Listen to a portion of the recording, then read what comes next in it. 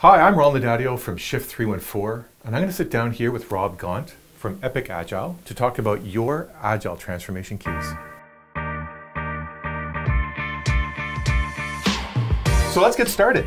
Sounds Agile great. key number one Agile as an enabler, Agile is not a goal.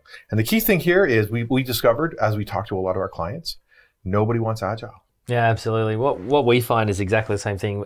All of the clients that we're working with have never brought us in to say, "I want you to implement agile." They've always given us, "I need faster speed to value. I need um, higher performance culture. Yeah. I need blah blah blah." They've Happier been people. told that agile is is the tool to make that happen, um, and probably as they're approaching more and more agile consultants, they're hearing, "Yes, we can implement agile." The problem is in that tra- what happens is when they get on the ground, Yeah. um, they start implementing agile as the goal Yeah. instead of the drivers for the change. Yeah, but what the problem is that the distraction with exec, distraction with executives is that when you have organizational goals that are already in place, that could be product development, that could be marketplace uh, uh, penetration, that could be revenue, that could be profit. These things are real ones that actually allow the survival of the organization.